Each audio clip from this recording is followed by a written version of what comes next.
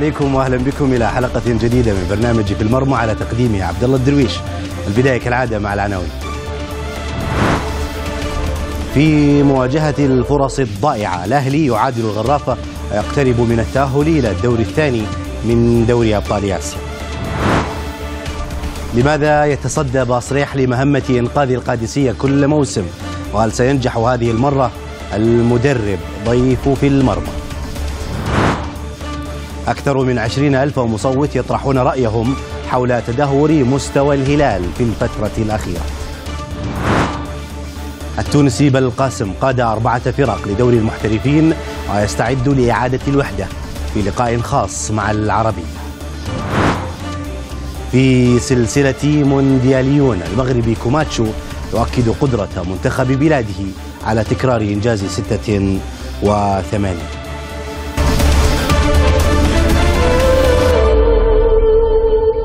حياكم الله. في إطار الجولة الرابعة لدوري أبطال آسيا شهدت المجموعة الأولى تعادل الأهلي السعودي أمام ضيفه الغرافة بهدف لكل فريق. وفي هذه المجموعة أيضا تعادل الجزيرة الإماراتي أمام مضيف تراكتور الإيراني وفي المجموعة الثالثة تصدر السد بتغلبه على نساف بأربعة أهداف دون رد بينما تعرض الوصل لرابع هزيمة أمام بيروزي بهدف دون رد.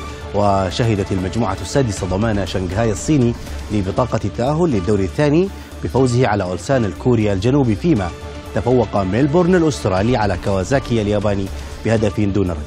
وفي المجموعة الثامنة وضع سون الكوري حدا لمسيرة شنغهاي شينهوا الخالية من الهزائم بالتفوق عليه بهدفين دون رد فيما تابع كشيما الياباني صدارة المجموعة بتعادله أمام سيدني. للمباراة الثانية على التوالي. يتعادل الأهلي والغرافة وبذات النتيجة هدف لكل فريق. الشباك راقبت بصمت في أول 45 دقيقة من مباراة الإياب في جدة. الإيراني مهدي تارمي نجح بتسجيل الهدف الأول للضيوف في الدقيقة السادسة والخمسين. الرد الأهلاوي احتاج إلى دقيقتين فقط وحمل بصمة المصري مؤمن زكريا الذي سجل التعادل في الدقيقة الثامنة والخمسين. هنا توقفت قصة الأهداف وحضرت فرص ضائعة بالجملة. النتيجة رفعت رصيد الأهلي إلى ثمان نقاط مقابل خمس نقاط الغرافة والجزيرة الإماراتي قبل مباراتين من ختام دور المجموعات فيما يأتي تراكتور الإيراني أخيرا في هذه المجموعة بنقطتين فقط. واحد رزق المصري العربية. وعن مواجهة الأهلي الآسيوية ينضم إلينا من الرياض تركيا العواد الدكتور واللاعب السابق أهلا بك دكتور.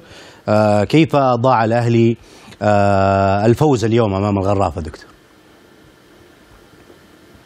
هي المباراة امتداد للمباراة الماضية نفس تقريبا السيناريو. الهلال الأهلي يبدأ المباراة بشكل بطيء يسيطر الغرافة على الشوط الأول ويضيع كثير من الفرص. يعود الأهلي في في الشوط الثاني ويضغط ويحاول أن يسجل. طبعا المشكلة الأكبر الموجودة عند الأهلي أنه ما عنده رأس حربة وهذا يعني واضح. السومة مش موجود مهند مش موجود ما في رأس حربة تقليدي ممكن يساعد الفريق في, في, في التسجيل. لكن للأمانة مباراة مقبولة للأهلي. أنا أشوف كثير من جمهور الأهلي يعني غضبانين وزعلانين من من من, من النتيجة كان بإمكانهم أنهم ينهون المباراة. حتى المباراة الماضية كان بإمكانهم أنهم ينهون المباراة ويسجلون في آخر المباراة ويأخذون ثلاث نقاط. ولكن هذه هذه البطولة الآسيوية الشيء الجميل في الأهلي أنه حافظ على يعني تنظيمه ما اختلف مع تغير لاعبين مع تدوير المدرب لعدد من اللاعبين إضافة لأنه الآن متصدر يكفيه نقطة فقط من المباراة القادمة على شرط أنه يعني الريان أو الغرافة والجزيرة واحد منهم يفوز على الثاني ما يتعادلون وفي حالة أن تعادلوا يكفي أيضا نقطة إضافية في المباراة الأخيرة. فوضع الأهلي جدا رائع لكن كان فعلا ينقصه لمسة الهداف اللي قادر في ظل يعني الارتباك الكبير لدفاع الغرافة أنه يسجل. يعني مؤمن زكريا كاد يسجل فتفة لما نزل في في يعني آخر ربع ساعة وآخر 20 دقيقة كاد إنه يسجل. حسين قهوي لما نزل آخر عشر دقائق كان نقطة أيضا قوة للأهلي. ولكن بالمجمل الاهلي قاعد يقدم مستويات جدا رائعة. 14 مباراة متتالية بلا خسارة فيعني بالنسبة لي كان مباراة مقبولة للأهلي حافظ على صدارته واقترب من التأهل طيب دكتور وش سر ضياع الفرص المتراكمة اليوم من الأهلي خاصة يعني هل هو فعلا غياب المهاجم أو أنه آه سوء تركيز؟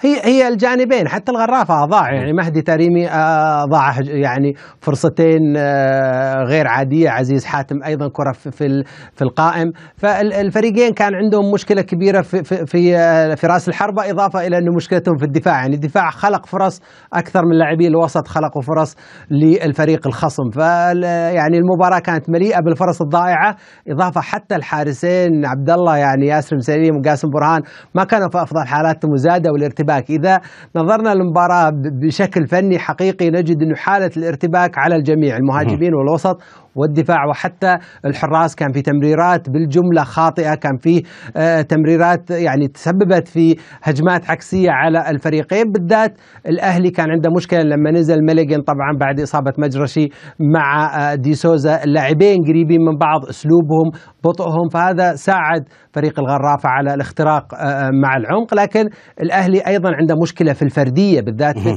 لما نزل الشوط الثاني كان فردي زيادة على اللزوم كان بإمكانه يصنع. مؤمن زكريا أيضا يحب يسدد على المرمى ويحب يلعب على المرمى آه، يعني المؤشر وحتى صالح العمري اللاعبين تقريبا ثلاثة والاربعه اللي لعبوا في الوسط والوسط المهاجم والهجوم كانوا فرديين أكثر من اللازم ما في اللاعب اللي يقدر لما نزل حسين قهوي لا بدأ يلعب اللعب الجماعي فنعتقد الفردية هي السبب الأكبر لعدم تسجيل الأهلي آه، أكثر من هدف في هذه المباراة. طيب تركي كيف شايف الأدوار الدفاعية اللي يقوم فيها ميليجن ومعتز هوساوي؟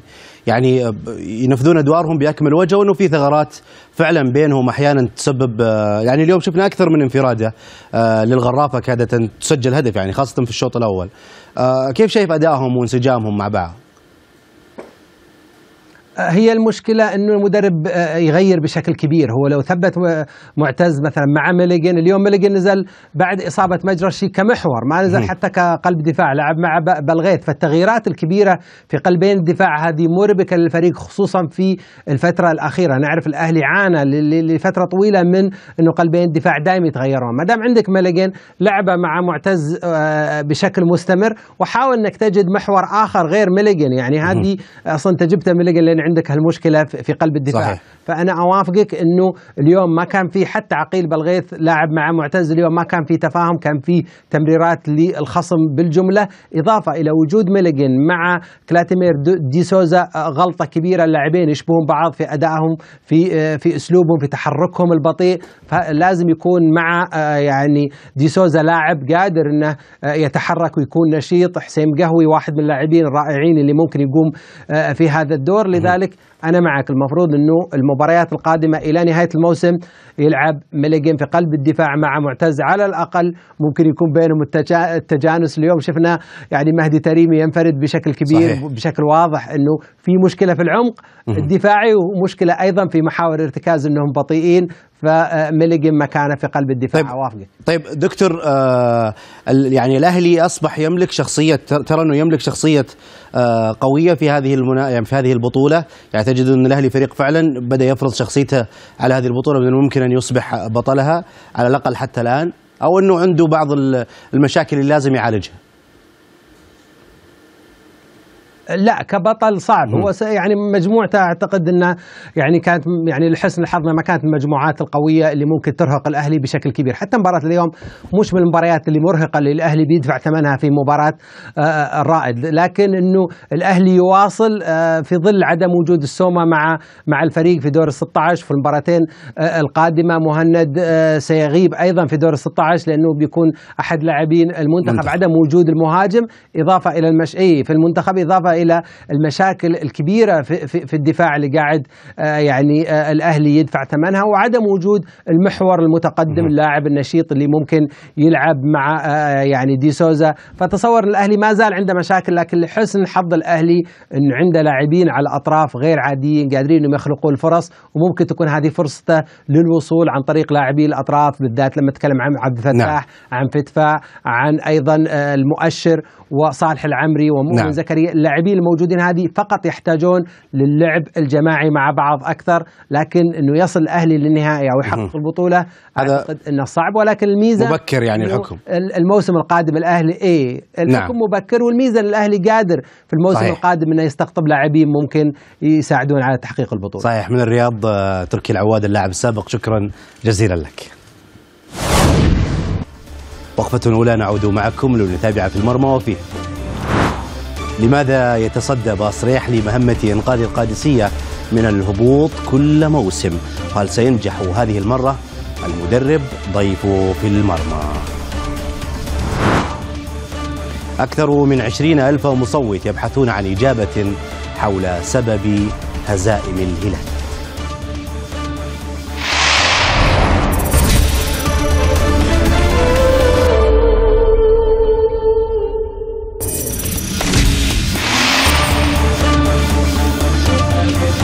حياكم الله من جديد. مع اقتراب الدوري السعودي من نهايته يكرر القادسية دخوله في صراع البقاء وعدم الهبوط. ويعود أيضا المدرب باصريح لتولي المهمة للموسم التالي وهو الذي تعاقدت معه إدارة القادسية مطلع الشهر الماضي. قبل أن نستضيفه هنا قراءة في مسيرة القادسية معه. منذ عودته إلى دور المحترفين موسم 2014-2015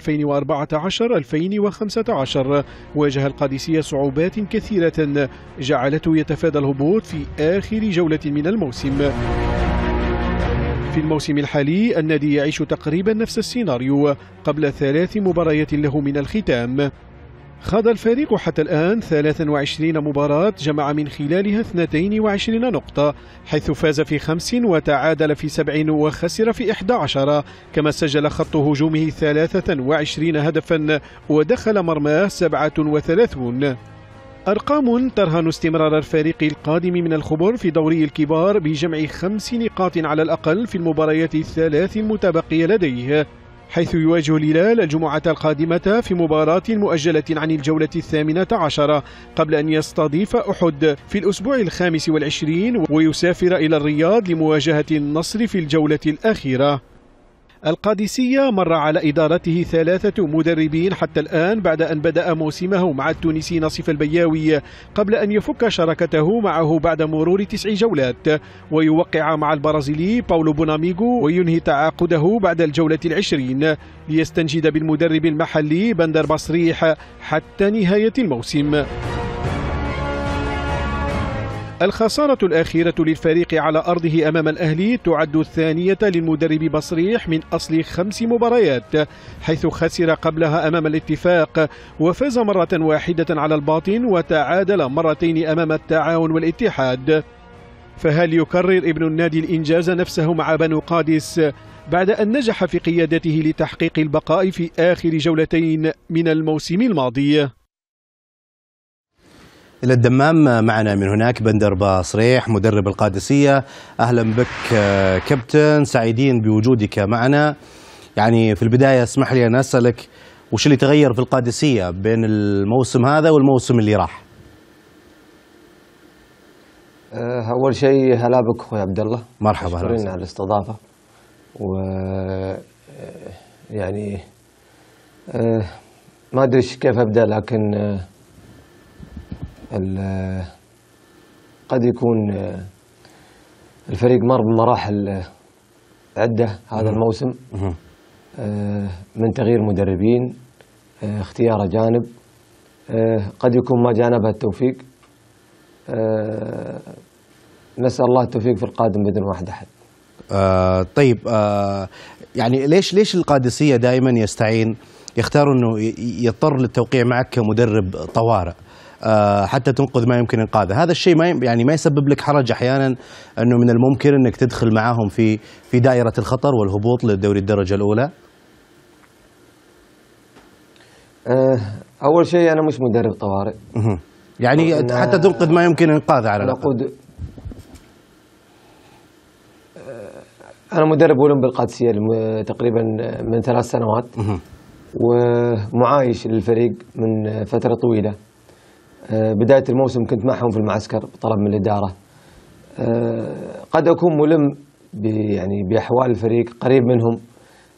لذلك السبب يكون يعني يعني في اختياري إني قريب من الفريق وإني يعني معاصر اللاعبين. في لاعبين كثير أنا دربتهم في الأولمبي. هذا من الأشياء من الأسباب الرئيسية اللي خلت إدارة النادي تقريبا يعني تكلفني بالمهمة.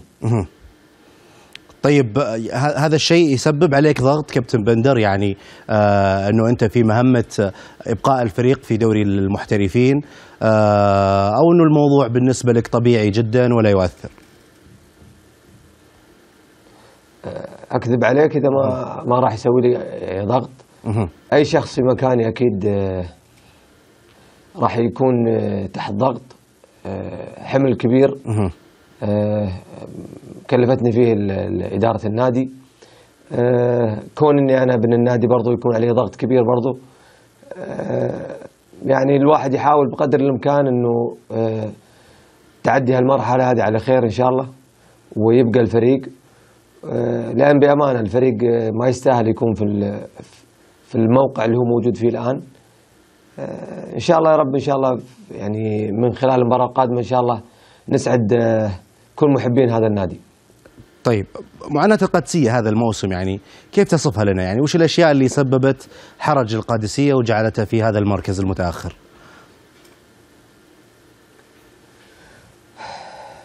كرة القدم فيها يعني فيها التوفيق وفيها ال- الاختيار المناسب من لاعبين جهاز فني. آه، أقدر أقول الاداره اجتهدت حالفها ال- الصواب في بعض الأشياء وحالفها آه، عدم التوفيق في بعض الأشياء. آه، هو اجتهاد في الأول وفي الأخير اجتهاد.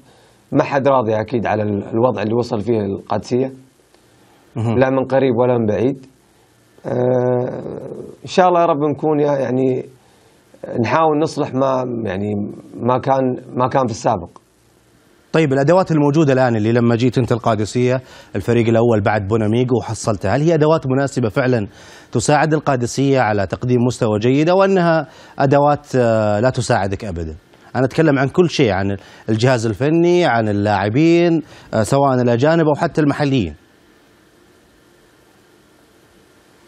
لا بالعكس آه، يعني بأمانة إمكانيات تساعد اي مدرب على النجاح ينقصها بس التوفيق. أتوقع الجميع شاهد ال- التغير الملحوظ في في مباريات الفريق خلال المباريات الخمس اللي أو الست اللي راحت. آه، ينقصنا بس شيء شيء واحد بس التوفيق بدون واحد أحد إن شاء الله. إن شاء الله يكون حليفنا من من يوم الجمعة بدون واحد أحد. يعني في كل المباريات اللي كنت تقود فيها القادسية كان المفروض أنه يفوز لكن التوفيق ما كان حليفك؟ آه، أظن الجميع شاهد. يمكن المباريات جميعها آه، كنا في أفضل حالاتنا بس ما ما توفقنا. آه، ويمكن أكبر دليل مباراتنا مع شقيقنا النادي الأهلي. قدمنا مباراة كبيرة. صحيح. آه، أشاد فيها الجميع.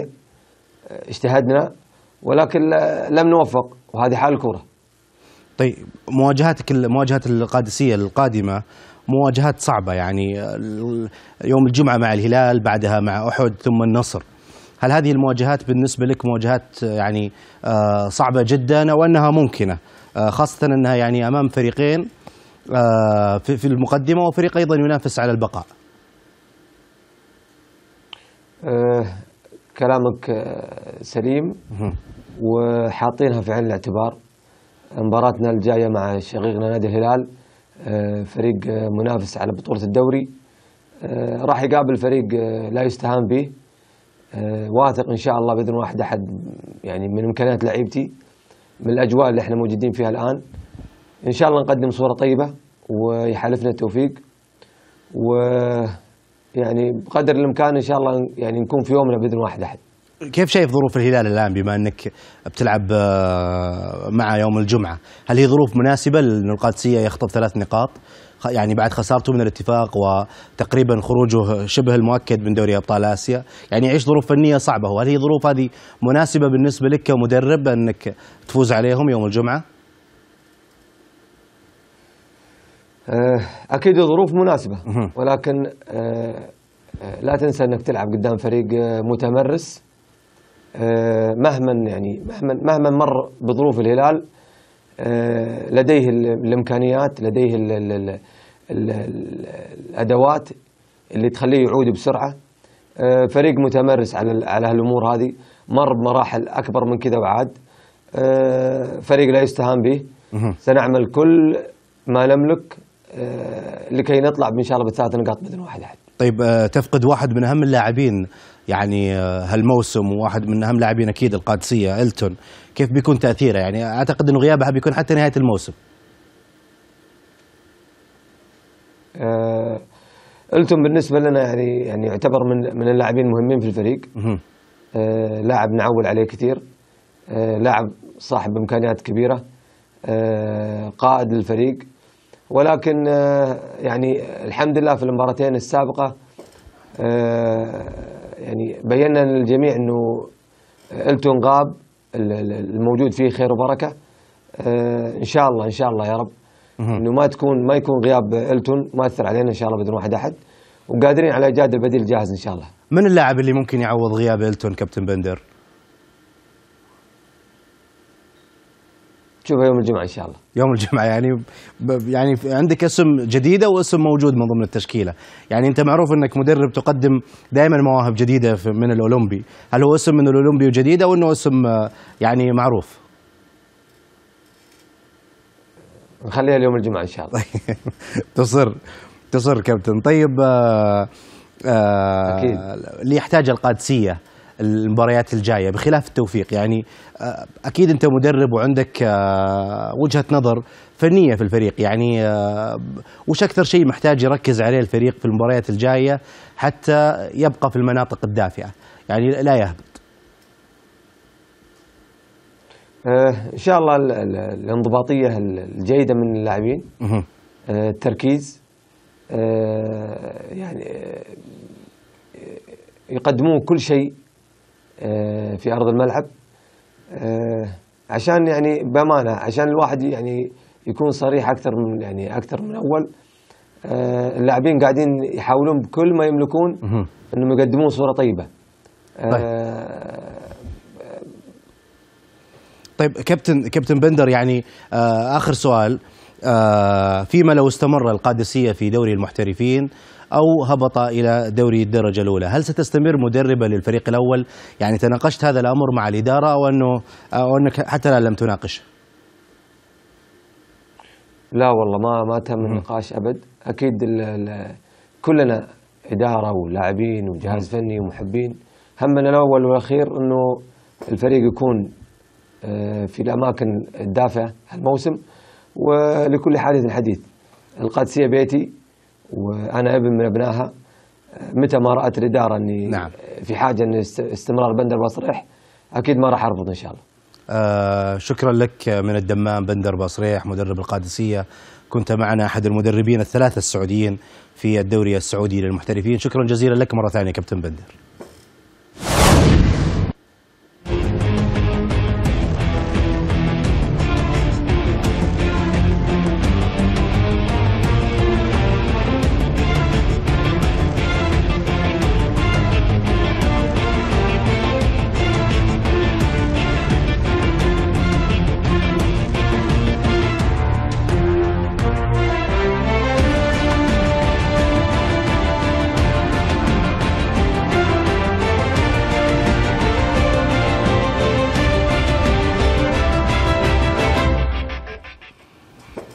إذا مشاهدينا أكثر من عشرين ألف مصوت شاركوا في الاستفتاء الذي طرح على حساب البرنامج في تويتر. سأل عن سبب خسارة الهلال من الاتفاق. الإجابة مع الزميلة ديما محمد السايح عليك ديما. أهلا بك عبد الله واهلا بكم مشاهدينا فتحت خسارة الهلال أمام الاتفاق تساؤلات عديدة حول أسبابها. فبعدما كان الفارق أربع نقاط عن أقرب ملاحقيه الأهلي باتت نقطة واحدة تفصل الهلال عن صاحب المركز الثاني. أكثر من 2000 مصوت اعتبروا أن الغيابات والإصابات العديدة التي ضربت صفوف متصدر ترتيب الدوري السعودي كانت السبب الحقيقي لما يحدث وهي التي أثرت على مراكز القوى في الفريق وأفقدته معظم عناصر تفوقه. تغيير الإدارة الفنية الأزرق حل ثالثا من حيث الأهمية بالنسبة إلى مصوتي في المرمى. الجماهير اعتبرت أن الصدمة لا زالت حاضرة في نفوس لاعبي الأزرق بعد إقالة رامون دياز وتعيين الأرجنتيني خوان براون بديلا. تركي العواد وصالح المطلق اعتبرا ذلك هو المؤثر الأساسي والحقيقي في خسارة الهلال. في الدوري. أكثر من 27% من المصوتين نسبوا السبب إلى عدم قدرة الفريق تجاوز تبعات خسارته للقب الأسيوي الموسم الماضي. ووصف بطل آسيا لم يتمكن في أربع مباريات بالمجموعة الرابعة بدور الأبطال في النسخة الحالية من تحقيق أي فوز ويحتل حاليا المركز الأخير بنقطتين من تعادلين وخسارتين أكثر من سبعة ألاف مشارك في الاستفتاء لهذا الأسبوع وجدوا أن انخفاض مستوى اللاعبين وافتقادهم للروح القتالية كانت السبب الرئيسي وراء تراجع النتائج. وأوضح تركي العواد أن عملية التدوير والراحة بين اللاعبين لم يقم بها المدربون بالشكل المطلوب حتى الأجانب لم يتم الاستفادة منهم. كما يجب.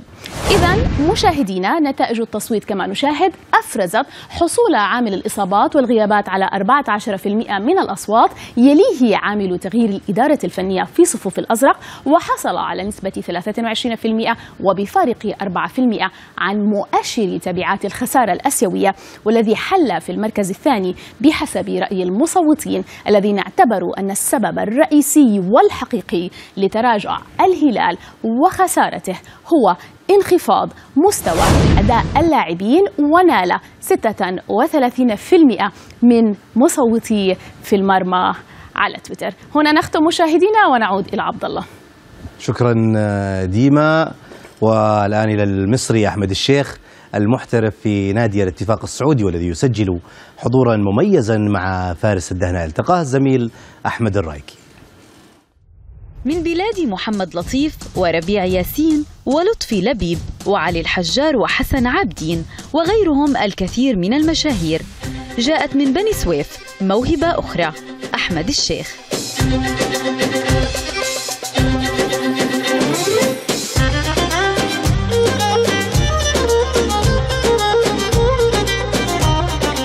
صاحب الصراع الشهير على اقتناصه بين قطبي مصر الأهلي والزمالك انتهى بارتدائه الفانيلا الحمراء لعب مع الأهلي قبل أن يتم إعارته لناديه مصر المقاصة ومعه حقق لقب الهداف ثم دخل قفص الزوجية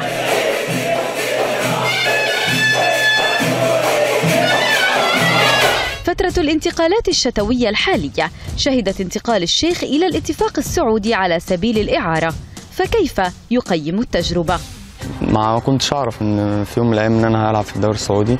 دي حاجة الحاجة الثانية أنا متابع جيد للدوري السعودي متابع أكتر من فريق في الدوري قبل ما قبل ما أجي الدوري السعودي. فشايف إن الدوري السعودي دوري قوي وفي فرق على أعلى مستوى في لعيبة على أعلى مستوى. أه والمفاوضات بدأت أه تقريبا في 24 ساعة كل شيء خلص يعني كل شيء تم. أه كان الموضوع عن طريق الأستاذ خالد الدبل وكلم رئيس النادي الكابتن محمود الخطيب وهم كلموني رجعوا لي والواحد يعني استخار ربنا والحمد لله يعني ربنا وفق في, في إن أنا أختار نادي الاتفاق كان جاي لي أكتر من عرض لكن فضلت نادي الاتفاق طبعا. بالنسبة لي إن شاء الله يكون تحدي ليا وتحدي مع اللعيبة الموجوده هنا. إن إحنا نعمل حاجة كويسة إن شاء الله نادي الاتفاق لأن الوضع النادي الاتفاق فيه مش هو ده الوضع الطبيعي. نادي الاتفاق نادي كبير عنده جماهير كبيرة وجماهير عظيمة ومجلس إدارة مجلس محترم وجهاز فني على أعلى مستوى ولعيبة على أعلى مستوى. اتفاقيه الآن جميلة عند الكويكبي الله! أنا طبعا بشكر اللعيبة كلها إن الواحد ظهر بالشكل الكويس ده ولسه إن شاء الله اللي جاي يكون أفضل بإذن الله. لسه الواحد ما, ما طلعش كل إمكانياته بإذن الله. لكن الفترة دي الحمد لله أحسن من الفترة الأولى. يعني الواحد برضه لازم بياخد فترة الانسجام لازم بيتعود على الجو المختلف. لكن الحمد لله الواحد بنسبة كبيرة قوي تاقلم مع اللعيبة تاقلم مع الجو والحمد لله صار في انسجام في في الملعب وفي التدريبات. اللاعب البالغ من العمر 25 عاما يبذل قصارى جهده مع الاتفاق في سبيل حجز مقعد له ضمن كتيبة الفراعنة في مونديال روسيا. أي لعيب بيتمنى إن هو يمثل بلده في حدث كبير زي كأس العالم. أتمنى إن شاء الله الواحد يطلع كل اللي عنده ويجتهد عشان ينول شرف بإذن الله إنه يكون موجود مع منتخب بلده يعني. من يعرف ربما تتسنى له الفرصة لرؤية نجمه المفضل ميسي في المونديال أما لاعبه السعودي المفضل فهو أكتر من لاعب يعني بس أنا ب- اللي شفته على الطبيعة هو كان الشلهوب يعني كان إنه- لأنه جه لعب معانا مباراة ودية في مصر فأنا بصراحة بحبه جدا على المستوى الشخصي يعني.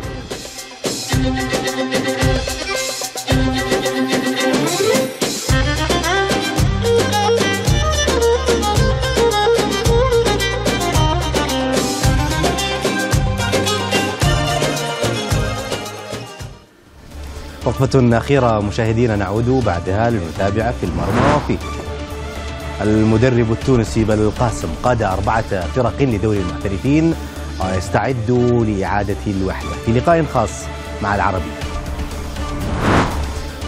في سلسلة موندياليون المغربي كوماتشو يؤكد قدرة منتخب بلاده على تكرار إنجاز 86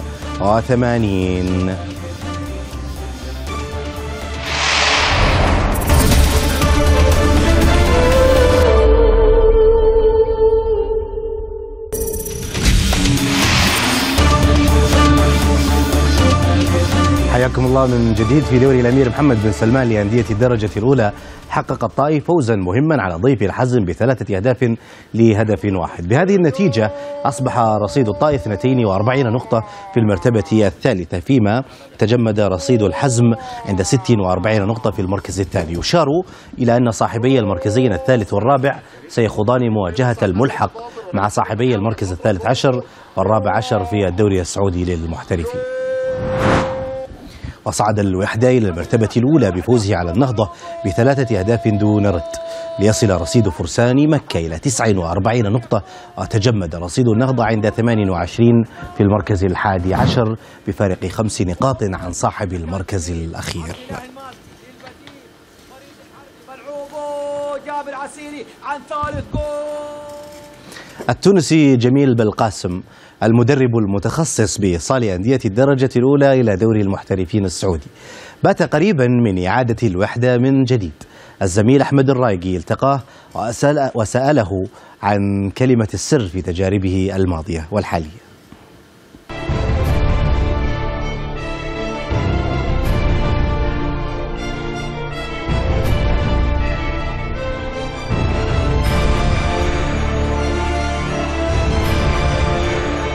جيت بالطبع من تونس معناها دربت عدة أندية في تونس.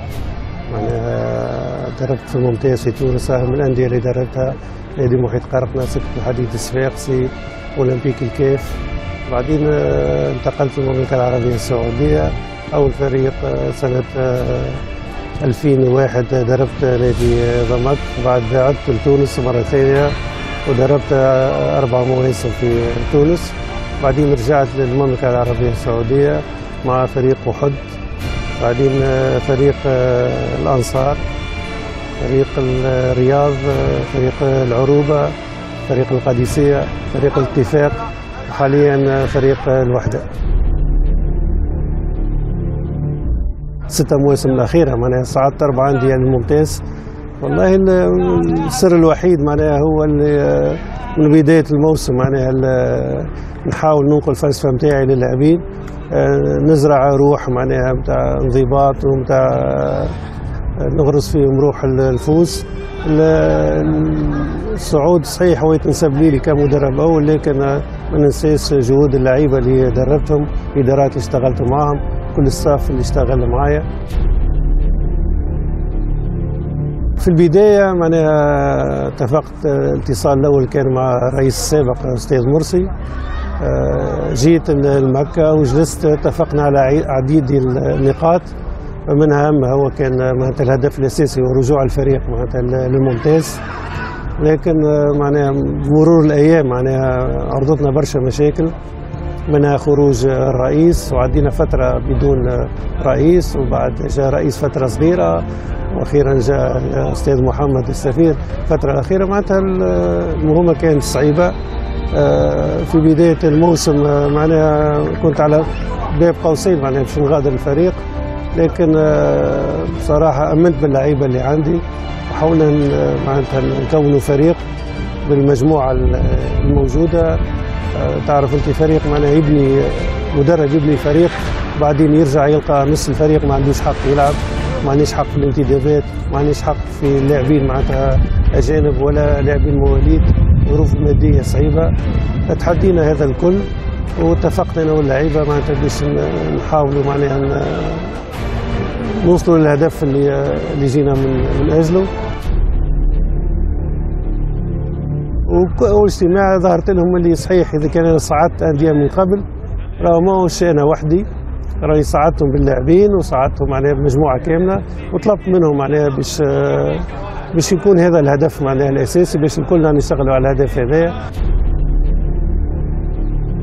الاجتماع معهم غالبا معناها بعد كل مباراة معناها يكون اجتماع مطول شوية نتحدثوا على المباراة السابقة معناها على الأخطاء اللي صاروا وعلى الأشياء الإيجابية والأشياء السلبية نحاولوا نصلحوهم ونتحدثوا على المباريات القادمة. ولكن في وسط الأسبوع معناها تلقى ديما ما, ما يطولش في الاجتماعات يكون شغل أكثر منه كلام. عشت الفرحة مع كل الفرق لكن على الورق معناها. على الورق يقول أنا جيت لفريق العروبه نلقاه في المرتبه 12 وعندهم ثمانية نقاط وصعدت به في المرتبة الأولى. تكررت لي هذه مع القادسية نفس الشيء. جيت الفريق القادسيه لقيته معناها في المرتبة الثامنة التاسعة واللي صاحب المرتبة الأولى يمكن بعيد علينا أكثر من 15 نقطة. عملنا مرحلة ممتازة مرحلة إياب على 15 مباراة فزنا 13 وتعادلنا اثنين ما انهزمناش وكان صعود زاد صعب وما ننساوش صعود مع فريق الاتفاق. جيتوا لقيت الفريق في المرتبة التاسعة منهار معنويا وفنيا وفريق أقرب للنزول درجة ثانية. كان الفارق بينه وبين صاحب المرتبه الأخيرة خمسة أو ست نقاط وبينه وبين صاحب المرتبه الأولى 14 نقطة. بصراحة كل الأندية اللي صعدتهم هما ما كانتش سهلة كانت صعيبة كثير بالذات ثلاثة فرق هذوما. والله منافسة كانت رياضية لعبنا زوج مباراة فزت أنا هوني في في مكة وفاز عليه في الملعب نتاعهم معناها المنافسة الحق بالنسبة للحزم والوحدة من من أحسن فرق الموسم هذا. وهاك تشوف حتى لحد الآن باقي ثم المنافسة على المرتبة الأولى. وإن شاء الله بالتوفيق معناها ليه ولكل مدرب معناها يشتغل ما شفتش أنا تلاعب صراحة معناها.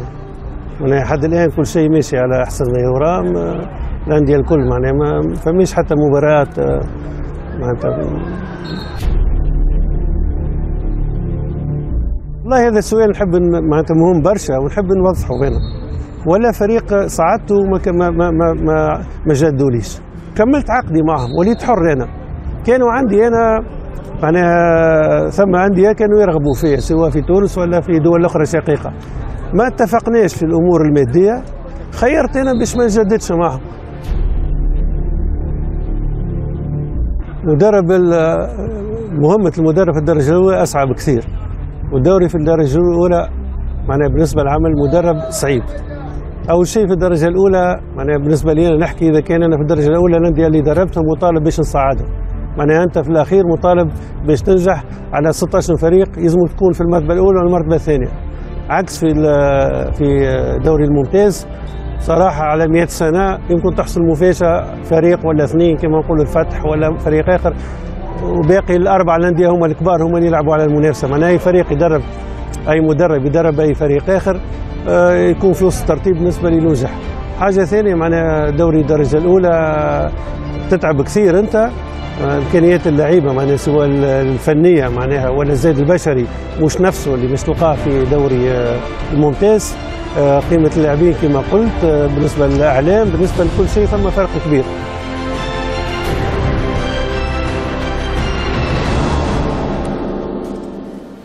إلى اليوم الرياضي في دقيقتين. شهدت الرياض توقيع مذكرة تفاهم بين الاتحاد السعودي لكرة القدم ومركز الملك سلمان للشباب من أجل إلهام الشباب ودعمهم وتحقيق الأهداف الوطنية المشتركة. استقبل مجلس إدارة النادي الأهلي المصري في مقره تركيا للشيخ رئيس الهيئة العامة للرياضة السعودية وأيضا الرئيس الشرفي للنادي القاهري حيث قام بتهنئة اللاعبين بنيل لقب الدوري المصري للمرة الأربعين. في تاريخه. شارك الثنائي فيصل درويش وماجد النجراني في تدريبات الهلال الثلاثاء بعد أن أنهيا برامجهما العلاجية والتأهيلية وذلك في إطار التحضير لملاقاة القادسية الجمعة في الدوري. فاز النصر على الاتحاد بستة أهداف لثلاثة في مسابقة الدوري الأولمبي والتي تابع الهلال صدارتها رغم هزيمته أمام الفيصلي في الجولة العشرين. عرفت تدريبات نادي الرائد يوم الثلاثاء مشاركة الثلاثي محمد عطوة ومحمد الشريمي وإسماعيل بنغورا وذلك في إطار الاستعداد لملاقاة الأهلي الجمعة في الدوري. أعلن نادي فيا ريال انضمام السعودي سالم الدوسري إلى منتخب بلاده للمشاركة معه في مباراتيه الوديتين ضد أوكرانيا وبلجيكا نهاية الشهر الحالي في إسبانيا. انطلقت في القاهرة بطولة تركيا للشيخ للألعاب الإلكترونية والتي تصل جوائزها إلى مليوني جنيه. من ضمنها نصف مليون لصاحب المركز الأول وتجرى أحداثها حتى الخامس عشر من الشهر الحالي. في فقرة موندياليون يلتقي الزميل محمد فضل الله مع عبد الجليل حد كماتشو لاعب منتخب المغرب السابق. نتابع الجزء الأول وأنا أشكركم على طيب المتابعة واستودعكم الله.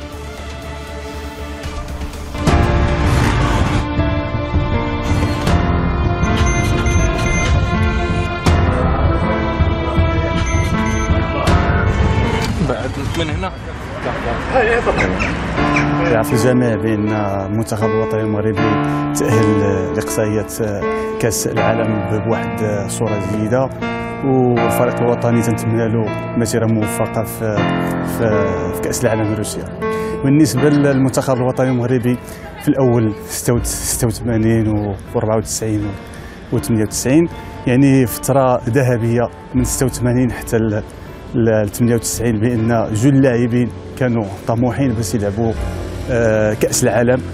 كأس العالم اللي غالية على كل لاعب اللي تيتمنى يلعب فيها. ولهذا تنتمنى للفريق الوطني المغربي مباريات في المستوى في, في كأس العالم الروسي. المنتخب المغربي آه، في مجموعة ربما تكون قوية نوعا ما. إسبانيا البرتغال آه، إيران وأيضا المباراة الأولى مع المنتخب الإيراني.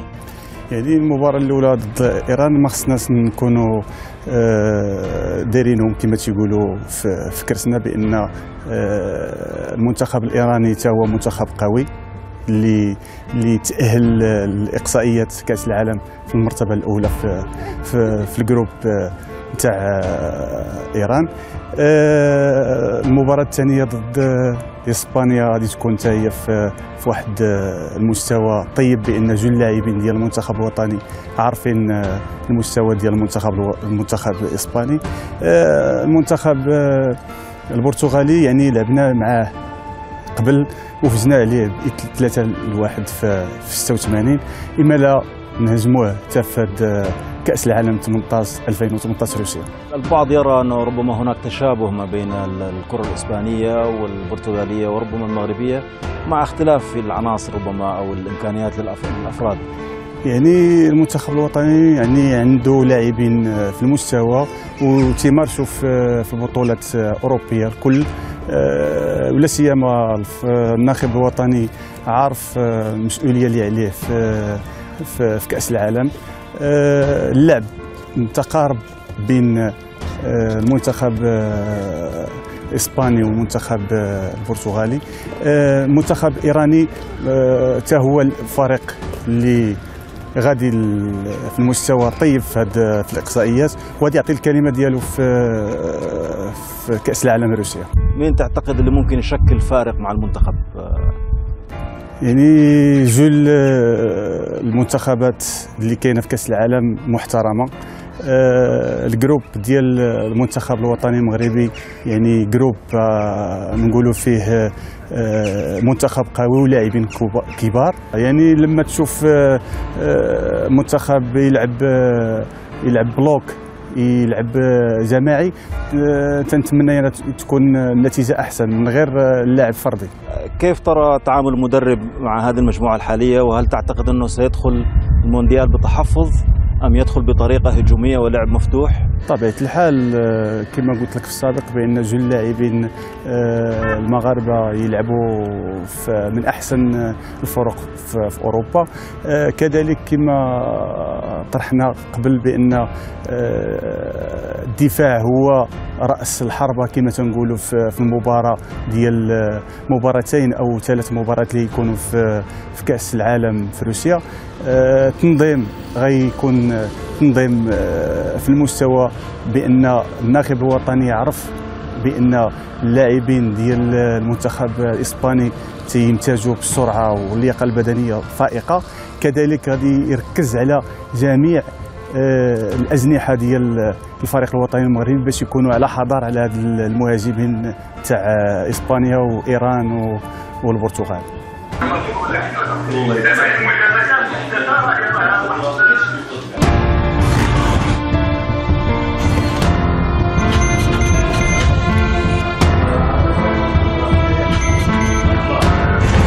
بعد من هنا. هذه الكلمة الطيبة راه أحسن من كل سائر الحال والله. شكرا بزاف وسلمنا على الوليدات ونشوفوك ونشوفوك إن شاء الله على خير و- وقدوة عندنا إن شاء الله. الله ينور